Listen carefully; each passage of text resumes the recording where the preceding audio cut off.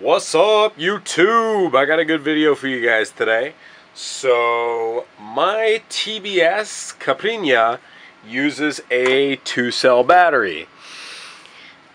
And my video transmitter runs on 12 volts.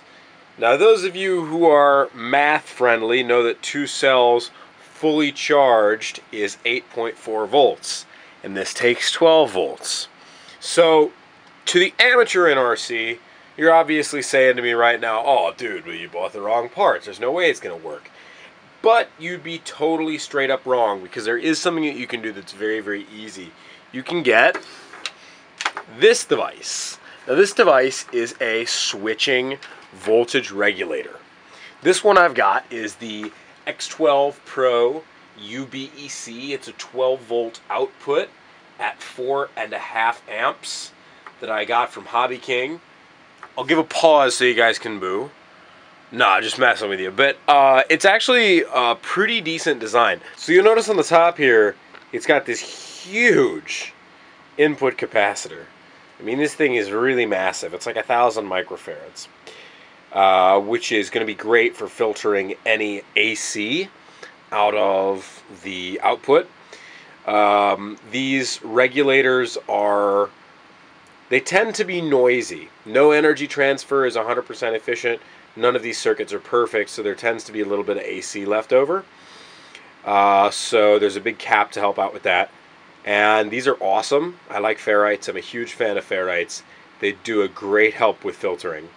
I am going to stick on another ferrite because I'm crazy to get a little more filtering.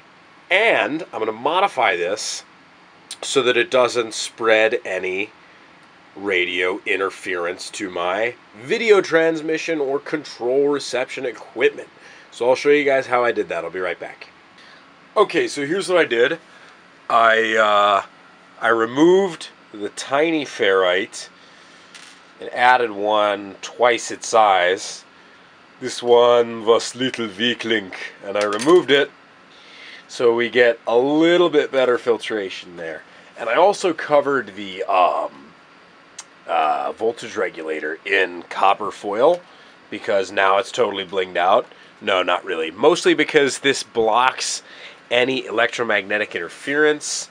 Um, because I have a receiver on the plane that's going to be straining to hear over my transmitter. And imagine, imagine the situation. Your transmitter's connected, right? And this is spewing 400 milliwatts your spread spectrum radio is 10 milliwatts. This is 400. This is 40 times the volume of your spread spectrum radium radio at the transmitter.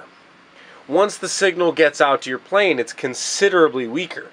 Trying to pick up a signal on your spectrum radio with this blaring is a lot like sitting across from someone in a restaurant, trying to hear them whisper while everyone else is screaming at the top of their lungs.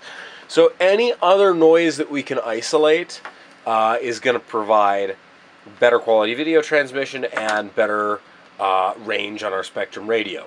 Plus, honestly, this is like 10 cents of copper tape. There's no such thing as shielding that is too good uh, unless it's doing stuff like adding huge amounts of weight to your plane. But this is probably about a quarter of a gram of copper, so it's really not that significant. So that's basically it, guys. As soon as I get uh, video 3, part 3 of the Caipirinha build posted, I will show you exactly how this stuff goes in to the plane. But until then, don't forget to rate, comment, subscribe.